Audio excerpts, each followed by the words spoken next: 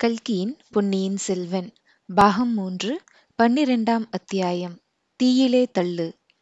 கொல்லன் சிறிது நேரம் தன் வேலையிலேயே கவனமாயிருந்தான் வந்தியத்தேவன் இரண்டு மூன்று தடவை கனைத்த பிறகு நிமிர்ந்து பார்த்தான். யார் அப்பனே நீ? உனக்கு என்ன வேண்டும்? வாள் வேல் ஏதாவது வேண்டுமா? வாளுக்கும் வேலுக்கும் தான் இப்போதெல்லாம் தேவையில்லாமல் போய்விட்டதே.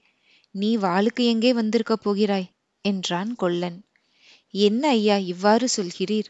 உம்முடைய கையில் வாளை வைத்து வேலை செய்து கொண்டே வாளுக்கு தேவையில்லை என்கிறீரே என்றான் வந்தியத்தேவன்.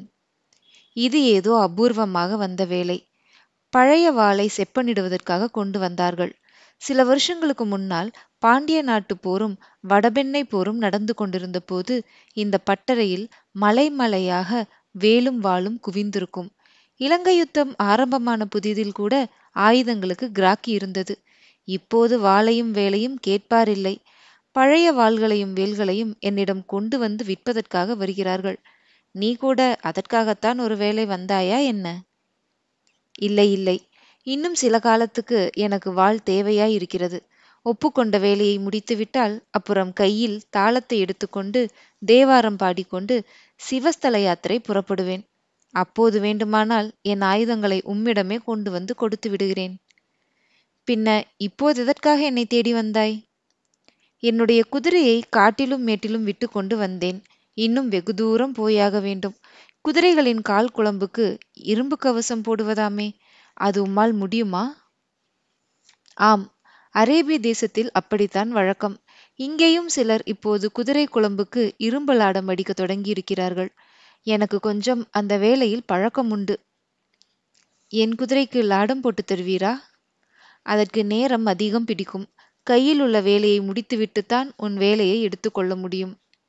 வந்தியத்தேவன் யோசித்தான். அவனுக்கும் களைப்பாயிருந்தது. குதிரையும் கஷ்டப்பட்டு போயிருந்தது. சிறிது நேரம் காத்திருந்து அதன் குழம்புகளுக்கு கவசம் போட்டுக்கொண்டே போவது என்று முடிவு செய்தான். கைவேலை முடியும் வரையில் காத்திருக்கிறேன். அப்புறமாவது உடனே செய்து தருவீர் அல்லவா அதற்கென்ன? ஆகட்டும். வந்தியத்தேவன் சற்று நேரம் கொல்லன் காய்ச்சி செப்பனிட்ட வாளையே பார்த்து கொண்டிருந்தான். இந்த வாள் அபூர்வமான வேலைப்பாடு அமைந்ததாய் இருக்கிறதே? ராஜகுலத்து வாள் மாதிரி அல்லவா இருக்கிறது? இது யாருடைய வாள்? என்றான். அப்பனே இங்கிருந்து கொஞ்ச தூரத்தில் அரிச்சந்திர நதி என்று ஓர் ஆறு ஓடுகிறது. நானும் கேள்விப்பட்டிருக்கிறேன். அதனால் என்ன? நான் அரிசந்திர நதிக்கு சென்று அடிக்கடி தலைமுழுகி வருவது வழக்கம்.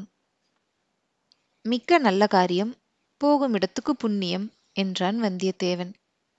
ஆகையால் கூடிய வரையில் மெய்யே சொல்லுவதென்றும் பொய் சொல்லுவதில்லை என்றும் வைத்துக் கொண்டிருக்கிறேன். அதற்கென்ன ஆட்சேபம்? உம்மை யார் பொய் சொல்ல சொன்னது? நான் சொல்லவில்லையே. நீ என்னை இந்த வாளை பற்றி ஒன்றும் கேள்வி கேட்காமல் இருந்தால் நானும் பொய் சொல்லாமல் இருக்கலாம். ஓஹோ அப்படியா சமாசாரம்? என்று வந்தியத்தேவன் மனதிற்குள் எண்ணிக்கொண்டான். நான் கேள்வியும் கேட்கவில்லை நீர் விரத பங்கமும் செய்ய வேண்டாம். கை வேலையை சீக்கிரம் முடித்துவிட்டு என் வேலையை எடுத்துக்கொண்டு செய்து கொடுத்தால் போதும். கொல்லன் மௌனமாக தன் வேலையில் கவனம் செலுத்தினான். வந்தியத்தேவன் வாளை சிறிது நேரம் உற்று பார்த்து கொண்டிருந்தான். அதன் அடிப்பகுதியில் பிடியின் பக்கத்தில் மீன் உருவம் பொறிக்கப்பட்டிருந்ததை பார்த்து வியந்தான். மீன் உருவம் எதற்காக? அதற்கு ஏதேனும் பொருள் உண்டா? வெறும் அலங்காரத்திற்கு தானா? கொல்லன் அந்த மீன் உருவம் உள்ள இடத்தை மறுபடியும் தீயில் காட்டி காய்ச்சி அதன் பேரில் சுத்தியால் அடித்தான். மீன் உருவம் தெரியாமல் மறைப்பதுதான் அவனுடைய நோக்கம் என்று தோன்றியது. எதற்காக இக்காரியம்? என்று வல்லவரையன் யோசனை செய்தான். யோசனை செய்து கொண்டிருக்கும் போதே அவன் கண்கள் சுழலத் தொடங்கின. பல நாளாக அவனால் விரட்டியடிக்கப்பட்டு வந்த நித்திராதேவி இப்போது தன் மோக மாய வலையை அவன் பேரில் பலமாக வீச ஆரம்பித்தாள். வந்தியத்தேவன் அதிலிருந்து தப்ப முடியவில்லை. சிறிது நேரம் உட்கார்ந்தபடியே ஆடி விழுந்தான். பிறகு அப்படியே கொல்லன் உலைக்கு பக்கத்தில் படுத்து தூங்கி போனான். தூக்கத்தில் வல்லவரையன் பல பயங்கர கனவுகள் கண்டான். கத்தியை பற்றியே ஒரு கனவு. ஒருவன் வந்து கொல்லனிடம் கத்தியை திரும்ப கேட்டான். கொல்லன் கொடுத்தான். என்ன கூலி வேண்டும்? என்று அவன் கேட்டான். கூலியொன்றும் வேண்டாம். பழுவூர் இளையராணிக்கு நான் அளிக்கும் காணிக்கையாய் இருக்கட்டும் என்றான் கொல்லன். ஜாக்கிரதை. இந்த விஷயம் யாருக்கும் தெரியக்கூடாது. முக்கியமாக பழுவூர் இளையராணியின் பெயரை சொல்லவே சொல்லாதே. சொன்னால் என்ன செய்வோம் தெரியுமா? நான் எதற்காக ஐயா பழுவூர் ராணியின் பெயரை சொல்லப் போகிறேன்? ஒருவரிடமும் சொல்ல மாட்டேன். இதோ இங்கே யாரோ ஒரு வாலிபன் படுத்திருக்கிறானே. சப்தம் போட்டு பேசுகிறாயே. அவன் ஆழ்ந்த நித்திரையில் இருக்கிறான். இடி எடுத்தாலும் அவனுக்கு காது கேட்காது. ஒருவேளை அவனுக்கு தெரிந்து விட்டது என்று தோன்றினால் இந்த உலைக்களத்தின் நெருப்பில் அவனை தூக்கி போட்டு வேலை தீர்த்துவிடு. இந்த சம்பாஷணையின் முடிவில் கொல்லனும் கத்திக்கு உடையவனும் வந்தியத்தேவனை இழுத்து போய் உலைக்களத்தில் போட போவதாக வந்தியத்தேவன் கனவு கண்டான். பிறகு அந்த கனவு மாறியது. வந்தியத்தேவனை யமதூதர்கள் நரகத்துக்கு அழைத்து சென்றார்கள். யமதர்மராஜன் பூலோகத்தில் வந்தியத்தேவனுடைய நடவடிக்கைகளை பற்றி விசாரித்தான். பொய் சொல்வதில் இவன் நிபுணன். எத்தனை பொய்தான் சொல்லியிருக்கிறான் என்பதற்கு அளவே கிடையாது என்றான் சித்திரகுப்தன். கையில் இருந்த ஓலையை பார்த்துவிட்டு இல்லை இல்லை எல்லாம் சக்கரவர்த்தி குடும்பத்தாரின் சேவையிலேதான் சொன்னேன். எடுத்த காரியத்தை செய்து முடிப்பதற்காக சில பொய்களை சொன்னேன். எதற்காக சொல்லியிருந்தாலும் பொய் பொய்தான். தள்ளுங்கள் இவனை நரகத்தின் பெரிய நெருப்பு குழியில் என்றான் யமன்.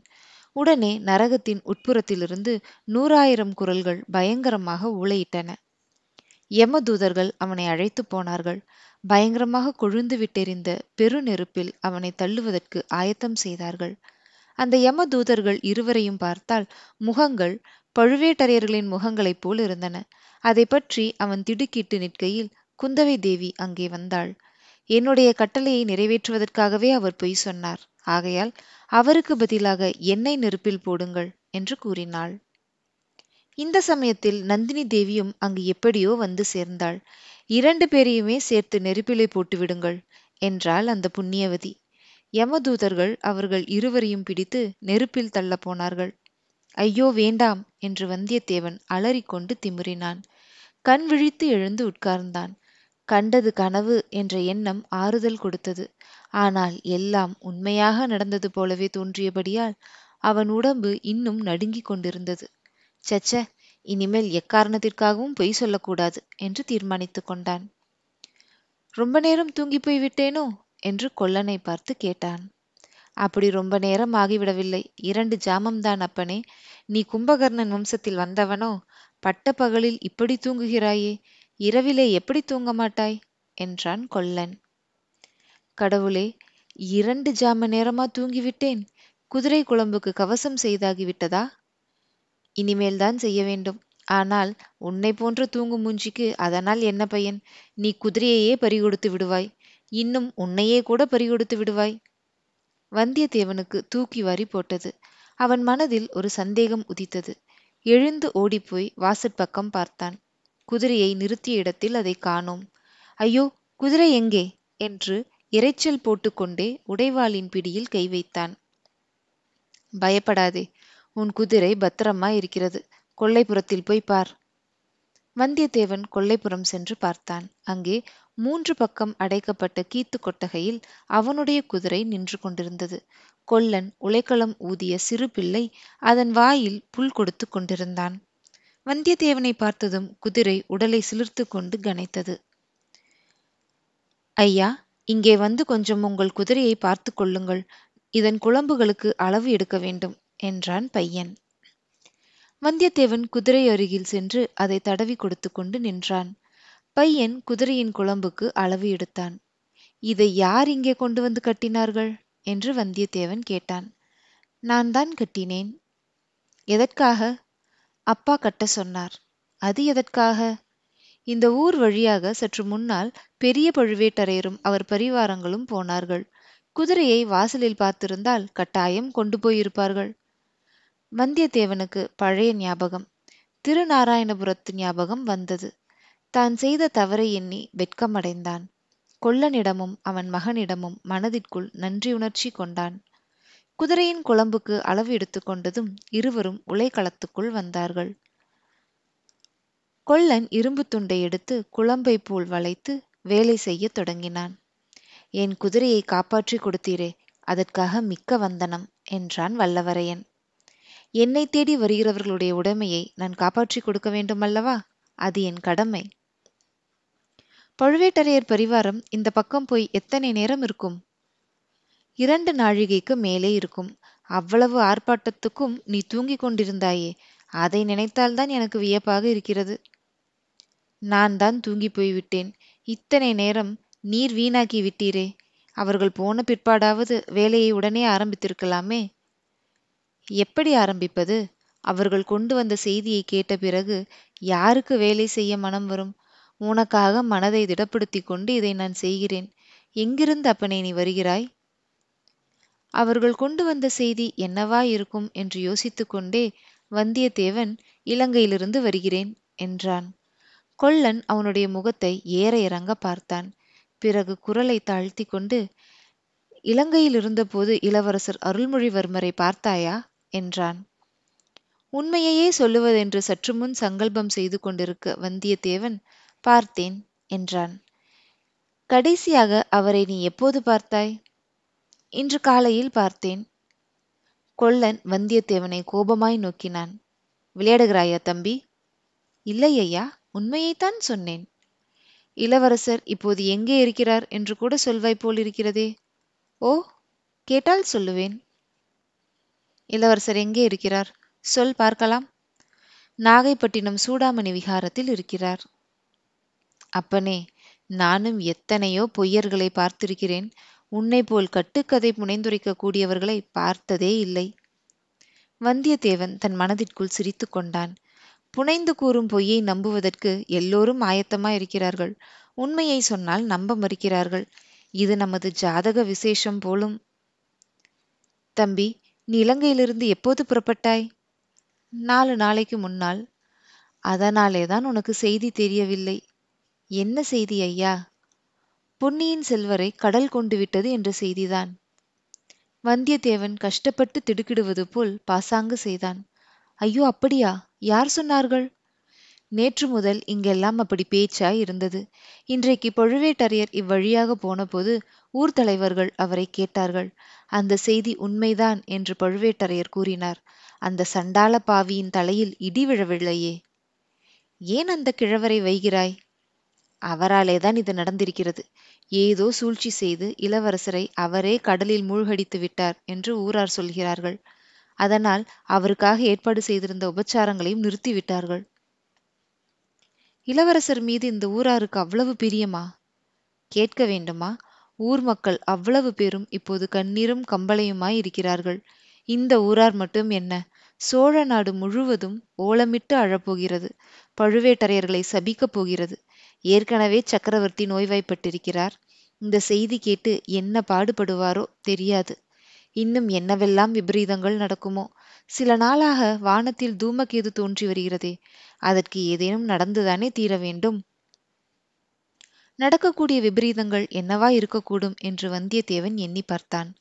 தான் கூறியதை இந்த கொள்ளன் நம்பாமல் இருந்ததே நல்லதாய் போயிற்று. தான் இனிமேல் பொய் சொல்லாவிட்டாலும் இளவரசரை பற்றிய உண்மையை சொல்ல வேண்டிய அவசியமும் இல்லை. இளைய பிராட்டி ஏதோ முக்கிய காரணத்திற்காகத்தானே அவரை சூடாமணி விகாரத்தில் இருக்க சொல்லியிருக்கிறார். இளவரசியை கண்டு பேசிய பிறகு அவர் சொல்லும் யோசனைப்படி நடந்து கொள்ள வேண்டும். தம்பி என்ன யோசிக்கிறாய்? என்றான் கொல்லன். நடுக்கடலில் சுழிக்காற்றில் நானும் அகப்பட்டு கொண்டேன். கடவுள் அருளால் நான் தப்பி பிழைத்ததை நினைத்து பார்த்து கடவுளுக்கு நன்றி செலுத்துகிறேன். கடவுள் அருள் என்பது ஒன்று இருக்கிறதா என்ன? பெரியவரே அது என்ன அப்படி சொல்கிறீர்? கடவுள் அருள் என்பதாக ஒன்று இருந்தால் பழுவேட்டரையர்களின் அக்கிரமங்கள் இன்னும் நடந்து கொண்டிருக்குமா? பொன்னியின் செல்வர் கடலில் மூழ்கி இருப்பாரா? பெரியவரே பழுவேட்டரையர் அதிகாரத்தில் உள்ளவர்கள் அவர்களை பற்றி இப்படியெல்லாம் பேசலாமா? யார் கதிலாவது விழுந்தால்? கொஞ்சம் ஜாக்கிரதையா இருங்கள். என்னை விட நீதான் ஜாக்கிரதையாய் இருக்க வேண்டும். நானாவது விழித்து கொண்டிருக்கும் போது பேசுகிறேன். நீ தூக்கத்தில் உளறுகிறாய். ஐயையோ என்ன உளறினேன்? பழுவேட்டரையர்களை யம தூதர்கள் என்று சொன்னாய். பழுவூர் இளையராணியை பெண் பேய் என்று சொன்னாய். நீ சொன்னது என்னமோ உண்மைதான். ஆனால் என்னை தவிர வேறு யார் காதிலாவது விழுந்தால் உன்கதி என்ன? நீ அப்படி பிதற்றிக் கொண்டிருக்கிற சமயத்திலேதான் அந்த சாலை வழியாக பழுவேட்டரையர்களின் பரிவாரங்கள் போயின. எனக்கு ரொம்ப திகிலாய் போய்விட்டது. நீர் என்ன செய்தீர்? வாசற்பக்கம் போய் நின்று இந்த உலைக்களத்தின் கதவையும் சாத்திக் கொண்டேன். அதற்கு முன்னால் உன் குதிரையை கொல்லைப்புறம் கொண்டு போய் கட்டியாயிற்று. தூக்கத்தில் நான் இன்னும் ஏதாவது உளறினேனா? உளறலுக்கு குறைவே இல்லை. ஐயோ என்ன உளறினேன்? நீ இளவரசரை பழையாறைக்கு வரும்படி வற்புறுத்தினாய். அவர் பழுவேட்டரையர் கட்டளைப்படி சிறைப்படுவேன் என்றார். இன்னும் என்னவெல்லாமோ சொன்னாய் தம்பி. பழையாற இளைய பிராட்டியை குறித்து கூட ஏதேதோ சொன்னாய். ஜாக்கிரதை அப்பனே ஜாக்கிரதை வந்தியத்தேவன் வெட்கி தலை குனிந்தான். இளைய பிராட்டியை குறித்து அனுசிதமாக ஏதாவது பேசிவிட்டோமோ என்று பீதியடைந்தான் இனிமேல் தூங்குவதாயிருந்தால் தனி அறையில் கதவை தாளிட்டு கொண்டு தூங்க வேண்டும். அல்லது மனித சஞ்சாரம் இல்லாத காட்டிலோ பாலைவனத்திலோ மலகி குகையிலோ தூங்க வேண்டும். தம்பி சுழற்காற்றில் நீ எப்படி அகப்பட்டு கொண்டாய்? எப்படி தப்பி பிழைத்தாய்? நான் ஏறி வந்த கப்பல் இடி விழுந்து கடலில் முழுகிவிட்டது. முறிந்த பாய்மரத்தை பிடித்துக்கொண்டு வெகுநேரம் மிதந்தேன். பிறகு ஓடக்கார பெண்ணொருத்தியின் உதவியால் தப்பி கரை ஏறினேன் இளவரசரும் ஒருவேளை அவ்விதம் தப்பி பிழைத்திருக்கலாம் அல்லவா? கடவுள் சித்தம் இருந்தால் தப்பி பிழைத்திருக்கலாம். நேற்றிரவு நீ எங்கே தங்கினாய்? கோடிக்கரையிலேதான். கடற்கரையோரத்தில் பழுவேட்டரையர் பரிவாரங்கள் ஒரே கூட்டமாய் இருந்தன. ஆகையால் குழகர் கோவிலில் சிறிது நேரம் படுத்து தூங்கினேன். பொழுது விடுவதற்குள் புறப்பட்டு விட்டேன். அதனால்தான் உனக்கு இளவரசர் பற்றிய செய்தி தெரியவில்லை போல் இருக்கிறது. நீர் தெரியப்படுத்தியதற்காக வந்தனம் ஐயா. நான் பழையாறைக்கு கூடிய சீக்கிரம் போக வேண்டும். பழுவேட்டரையரின் பரிவாரத்திடம் சிக்காமல் போக வேண்டும். எந்த வழியாக போவது நல்லது? பழுவேட்டரையர் தஞ்சாவூர் ராஜபாட்டையில் போகிறார். நீ முல்லையாற்றங்கரையோடு போனால் பழையாறையை அடையலாம். நீங்கள் கொஞ்சம் சீக்கிரமாகவே குதிரை குழம்புக்கு கவசம் அடித்து கொடுத்தால் நல்லது. இதோ என்றான் கொல்லன். வளைத்து காய்ச்சியிருந்த இரும்பை சுத்தியினால் அடிக்கத் தொடங்கினான். இது பெரிய பழுவேட்டரையருக்கு. இது சின்ன பழுவேட்டரையருக்கு. இந்த அடி சம்புவரையருக்கு இது மழவரையருக்கு என்று சொல்லிக்கொண்டே அடித்தான். இதிலிருந்து அந்த சிற்றரசர்கள் பேரில் நாட்டு மக்கள் எவ்வளவு கோபம் கொண்டிருக்கிறார்கள் என்பதை ஒருவாறு வந்தியத்தேவன் தெரிந்து கொண்டான். குதிரை குழம்புக்கு லாடம் அடித்து முடிந்தது. செய்து கொடுத்த வேலைக்காக கொல்லனுக்கு காசு தர வந்தியத்தேவன் எத்தனித்தான். கொல்லன் அதை பெற்றுக்கொள்வதற்கு மறுத்துவிட்டான். நீ நல்ல பிள்ளை என்பதற்காக செய்து கொடுத்தேன். காசுக்காக செய்து தரவில்லை என்றான். வந்தியத்தேவன் மறுபடியும் கொல்லனுக்கு நன்றி கூறிவிட்டு விடை பெற்று கொண்டு புறப்பட்டான். புறப்படும் சமயத்தில் கொல்லன் தம்பி பழைய அறைக்கு நீ எதற்காக போகிறாய்? என்று கேட்டான். ஐயா நீங்கள் என்னை அதை பற்றி ஒன்றும் கேட்காமல் இருந்தால் நான் பொய் சொல்ல வேண்டிய அவசியம் ஏற்படாது என்றான் வல்லவரையன். கொல்லன் சிரித்துவிட்டு அப்பனே நீ துரிதமாக கெட்டிக்காரன் ஆகி வருகிறாய். தூங்குகிற போதும் இவ்வளவு ஜாக்கிரதையாய் இரு என்று சொல்லி விடை கொடுத்து அனுப்பினான். வந்தியத்தேவன் மறுபடியும் பிரயாணம் தொடங்கிய போது சூரியன் அஸ்தமிக்கும் நேரம் ஆகிவிட்டது. சிறிது நேரத்துக்கெல்லாம் அந்தி மயங்கி இருள் சூழ்ந்து வந்தது. இதற்குள் முல்லையாற்றங்கரையை வல்லவரையன் பிடித்து விட்டான். அதற்கு மேல் ஆற்றங்கரையோடு போக வேண்டியதுதான். வழி விசாரிக்க வேண்டிய அவசியம் கூட கிடையாது. முன்னிருட்டு வேலைதான். ஆனால் வானத்தில் ஆயிரம் கோடி நட்சத்திரங்கள் ஒளி சுடர்களாக விளங்கின. முல்லை நதியின் கரைகளில் மரங்கள் அதிகம் இல்லை சிறிய சிறிய புதர்கள்தான் இருந்தன. ஆகையால் வழி கண்டுபிடித்து போவதற்கு வேண்டிய வெளிச்சம் விண்மீன்கள் தந்தன. வானத்தில் ஜொலித்த நட்சத்திரங்களோடு போட்டியிடுவது போல ஆயிரக்கணக்கான மின்மினி பூச்சிகள் நதிக்கரை கரை புதர்களை சுற்றி வட்டமிட்டு விளையாடி கொண்டிருந்தன. வந்தியத்தேவனுடைய உள்ளத்தில் உற்சாகம் ததும்பியது. அதற்கு பல காரணங்கள் இருந்தன. நாடெல்லாம் இளவரசரை பற்றிய கவலையில் ஆழ்ந்திருக்கும் போது அவனுக்கு மட்டும் அவர் பத்திரமாயிருக்கிறார் என்ற செய்தி தெரிந்திருந்தது. இளவரசரிடம் சோழ நாட்டு மக்கள் எவ்வளவு பிரியம் வைத்திருக்கிறார்கள் என்பதை ஓரளவு தெரிந்து கொள்ள முடிந்தது. மந்திரவாதி ரவிதாசனை அவன் மறுபடியும் ஏமாற்ற முடிந்ததை நினைக்க குதூகலமாய் இருந்தது இதையெல்லாம் விட குந்தவை தேவியை சீக்கிரத்தில் பார்க்கப் போகிறோம் என்ற எண்ணம் அவனுக்கு எல்லையில்லாத மனக்கிளர்ச்சியை அளித்தது. வெறுமனேயா பார்க்கப் போகிறான்? இளைய பிராட்டி கூறிய காரியத்தை செய்து முடித்துவிட்டு பார்க்கப் போகிறான். அந்த காரியத்துக்கு ஏற்பட்ட தடங்கல்களை எல்லாம் நினைத்து அவற்றையெல்லாம் தான் எதிர்த்து வெற்றி கொண்டதையும் எண்ணி அவன் பெருமிதம் அடைந்தான். நாளை மாலை இந்த நேரத்துக்குள் இளைய பிராட்டியை சந்தித்து விடுவோம் என்பதில் சந்தேகமில்லை. ஆஹா! அந்த சந்திப்பை குறித்து எண்ணும்போதே அவனுக்கு மெய் சிலிர்த்தது. நட்சத்திர சுடர்களால் விளங்கிய வானமும் மின்மினி பறந்த பூமியும் சலசலவென்ற சப்தத்துடன் ஓடிய முல்லையாற்று வெள்ளமும் மந்த மந்தமாக வந்த குளிர் பூங்காற்றும் வந்தியத்தேவனை பரவசமடைய செய்தன. வானமும் பூமியும் ஒரே ஆனந்தமயமாக அவனுக்கு அச்சமயம் தோன்றியது. பழைய காதல் பாட்டு ஒன்று அவனுக்கு நினைவு வந்தது. தான் வாய்விட்டு உற்சாகமாக பாடுவதற்கு தகுந்த இடம்தான் இது. சுற்றுப்புறமெங்கும் மனித சஞ்சாரமே கிடையாது. ஏன்? பட்சிகள் கூட கூடுகளிலே சென்று அடங்கிவிட்டன. அவன் பாடுவதற்கு தடை என்ன இருக்கிறது? இதோ அவன் பாடிய பாட்டு. யாரை மனதில் நினைத்து கொண்டு பாடினான் என்று சொல்ல வேண்டியதில்லை அல்லவா? வான சுடர்களெல்லாம் மானே உந்தனைக் கண்டு மேனி சிலிர்க்குதடி. அங்கே மெய்மறந்து நிற்குதடி. தேனோ உந்தன் குரல்தான் தென்றலோ உன் வாய்மொழிகள். மீனொத்த விழிமலர்கள் கண்டால் வெறிமயக்கம் தருவதேனோ? வந்தியத்தேவன் இப்படி பாடி முடித்தானோ இல்லையோ? அவனுடன் போட்டி போடுவது போல தூரத்தில் நரிகள் ஊளையிடத் தொடங்கின. அதே சமயத்தில் மனித குரலில் கலகலவென்று சிரிக்கும் சத்தம் கேட்டது. வந்தியத்தேவன் சிறிது மிரண்டு சுற்றும் முற்றும் பார்த்தான். அவனுடைய கை உடைவாளில் சென்றது.